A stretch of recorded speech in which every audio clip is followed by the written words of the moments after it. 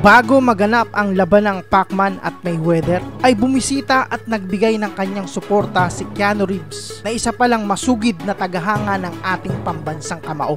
Manny, good luck in the fight. You are amazing. You are awesome. Thank you so much.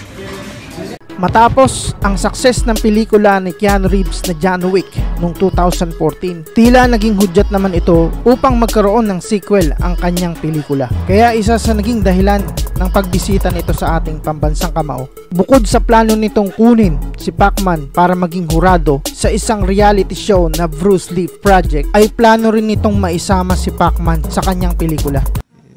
To have you here to visit me here. What's your favorite? Ngunit hindi na nga rin ito natuloy dahil sa pagiging busy ni Pacman sa kanyang mga proyekto kabilang na rin sa pagiging abala niya sa Senado. Ganun pa man ay isang dugong Pinoy pa rin ang nabigyan ng pagkakataon at nakasama ni Reeves sa kanyang pelikula.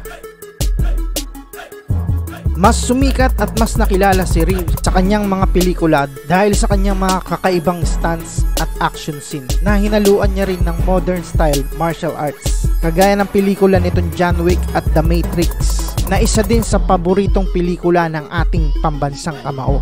What's your favorite Keanu movie? I've been watching a lot of this movie, so Thank you. especially the Matrix and you know. Binigyan ni Keanu si Manny ng poster ng pelikula niyang Matrix na may nakasulat, Manny, you're the best. Bukod nga sa pagiging fan ng martial arts, ay naging masugid na rin siyang tagahanga ng boxing dahil na rin sa ating pambansang kamao kanyang iniidolo. I'm really excited to. I've been watching him for many years, and uh, he's you know such a great champion and such a remarkable. You know, from the outside, he seems like such a remarkable person in what he's doing, and um, the freedom, the will, the the inventiveness, Yeah. the both hands, the the intellect, the heart.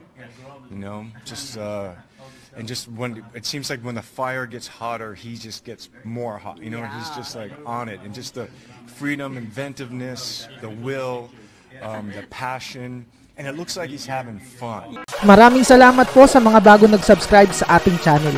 At shoutout po kay Ma'am Sara from Japan na walang sawang tumutulong at sumusuporta sa ating mga kababayan sa pamamagitan ng kanyang mga charity works at mga feeding program.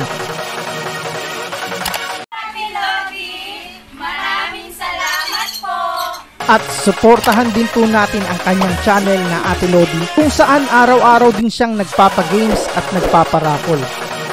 At shoutout din kila Eliazar, Pops, June Vlog at sa mga gustong magpa-promote at magpa-shoutout, comment down lang po and again marami pong salamat.